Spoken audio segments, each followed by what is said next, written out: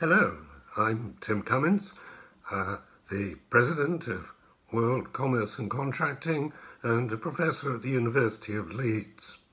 And on the 1st of December, a Prosper, Prospero's virtual event, I'm going to be talking about contract risk management in supply chain management. You know, during COVID 19, our research told us that more than 80% of organizations struggled with their lack of data. They had little ability to either predict or anticipate supply issues or their impact. Those clearly were severe, but without being able to in any way anticipate them, uh, organizations were essentially blinded to the problems that might arise.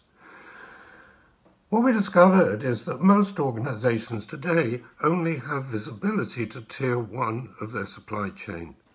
Um, and this is becoming a, a major issue, not only due to the challenges of fragility that have been so cruelly exposed by the pandemic, but also the concerns it creates about broader reputational risk, about the challenges to innovation and continuous improvement, about the inability to either implement or monitor ESG or, or social value initiatives.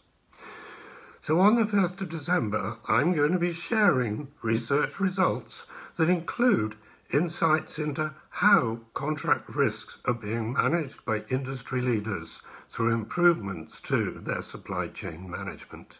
I hope that you'll be able to join me there.